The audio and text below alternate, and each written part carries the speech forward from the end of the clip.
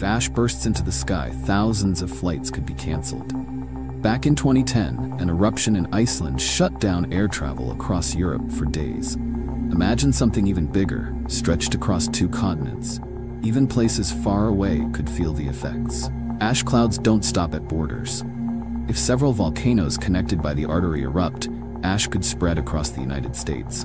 It could block sunlight for days, cool temperatures, and harm crops. Farmers in states like Idaho, Montana, or even Kansas could struggle with ruined harvests. And it's not just food. Power systems, water supplies, and the internet all depend on fragile networks. Fiber optic cables that scientists use to study the Earth also carry the internet itself.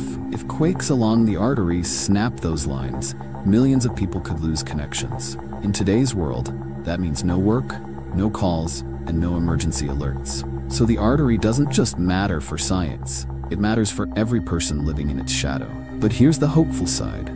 Because we know about it, we can prepare. Remember those tools from before? Seismometers and satellites don't just help scientists, they help people. If magma moves faster, the ground lifts, or tremors grow stronger, alarms can go out.